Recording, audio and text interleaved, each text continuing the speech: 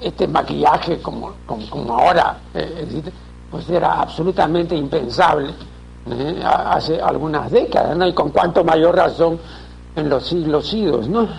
en una palabra que quiero manifestar es que el maquillaje en general gozaba no de buena prensa, sino de mala prensa. El maquillaje era malquisto, ¿no?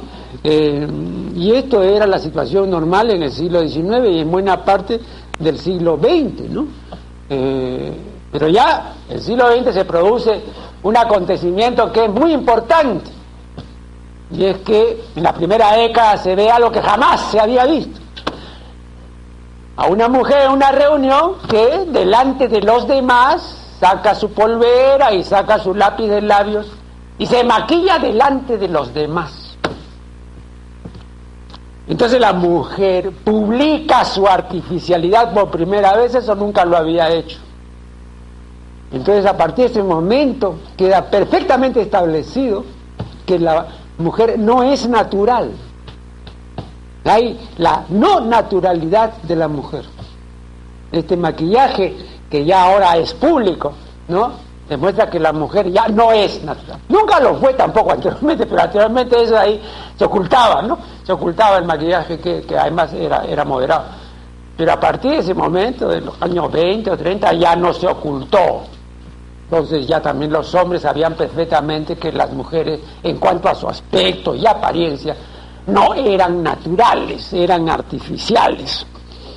Ahora, esta no naturalidad eh, del rostro femenino no comprendía la cabellera. Las mujeres antes no se pintaban el pelo y cuando la mujer encanecía, entonces recurría al uso de pelucas.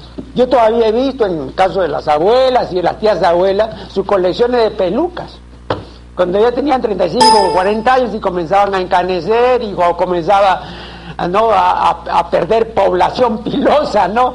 La, cabellera, entonces ponían su peluca, ¿no? Para diferentes ocasiones, ¿no? Para reuniones de gala, para eh, un paseo campestre, etcétera, diferentes pelucas, pero tenían peluca. Y no se lavaban el pelo sino cada 15 o 20 días, eso también es otro. Ahora se lavan el pelo eh, a veces todos los días, y en una ocasión recuerdo conversando con Frida Holler, que sabe lo que dice en esta materia, me dijo, y yo, Marco Aurelio, cuando puedo me lavo dos veces al día el pelo, en las mañanas y en las noches, ¿no? Pues no hizo hace 60 eh, o 70 años, absolutamente algo impensable. No, que cada 15 o 20 días se lavaría el pelo, pues sí es que se lo lavaba, ¿no? No. Eh, bien, pero ahora pues hemos llegado a esta situación en la que todo lo que luce una mujer, en que todo lo que muestra, ¿no? Eh, ya, ya, no es natural, ¿no? Todo es postizo, todo es obra de la cirugía estética, de los implantes y de las modificaciones en el soma femenino, todo es falso, ¿no? Y una vez recuerdo aquí en este mismo programa conversando con Josefina Barrón, eh, le decía, pero el problema, entre otros, ¿no? que, ocasiona todo, todo, todas, todas estas operaciones de cirugía estética, es que llega un momento en que ya tú no puedes tocar a esas personas, ¿no?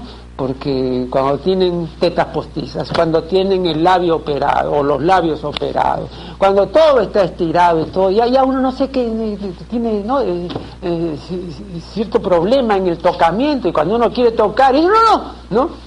Y cuando uno puede tocar y todo, se da cuenta de que no es igual. Pues es evidente, no es igual, ¿no? Y yo recuerdo que me hizo una observación válida, Josefina, pero también terrible la observación, ¿no? Pero es así. Me dijo, pero Marco Aurelio, es que esas cosas no son para tocar, sino para ver. Estamos en plena videocracia, ¿no es cierto? Entonces ahora todo es para ver. No, que vas a tocar una teta siliconada, olvídate. Pero no, pero fíjate, pues no, es para ver nomás. Pero qué lamentable, pues no ningún varón se va a contentar con ver nomás, ¿no? Claro, pero es así. Y hay muchos casos, muchas cosas, perdón, eh, de reestructuración o modificación o alteración en el soma femenino eh, que, todavía no están bien hechas, todavía no se alcanza una eh, moderada eficacia. por ejemplo, en lo que debería ser aparentemente sencillo, ¿no? Pero que no es este, en la cirugía de labios, ¿no? Eh, cuando pues se modifican los labios, se los agrandan, etcétera, ¿no? Eh, todavía es muy burdo. En televisión, por ejemplo, hay varias personas ¿no? que salen y se muestran haciendo diferentes actividades que tienen los labios operados. Bueno, en todos los casos se nota. Yo todavía no conozco un caso de labios operados que, diga uno, caramba, ¿no? Y cuando uno se acerca y todo, ¿no? Uno da la impresión de que si uno pellizcara esos labios, eh, inmediatamente brotaría sangre, o se abriría o se partiría, ¿no? Es algo completamente artificial. Bien, eh, un nuevo corte y ya regresaremos.